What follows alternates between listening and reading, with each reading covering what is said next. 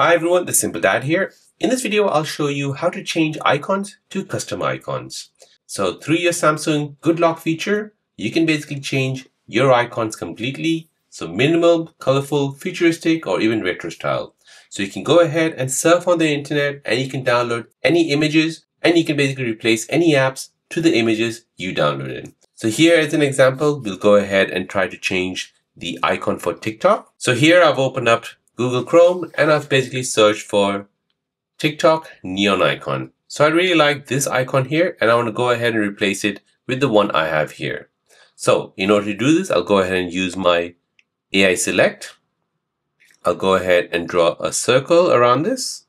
So I'll go ahead and just choose how much I want. So for example, this much here. Now I'll go ahead and tap on the download button here. So this is basically saved into my gallery.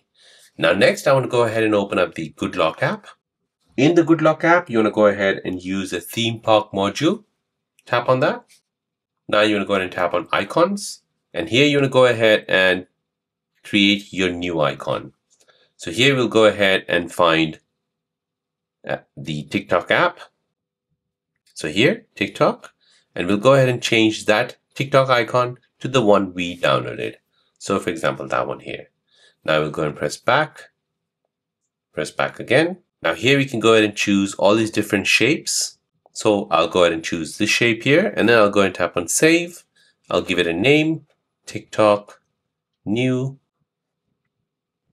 Now I'll go ahead and find TikTok new and I'll apply that. So now once I've applied that, if I press home, you'll see that icon now has been changed to the new icon which I have created.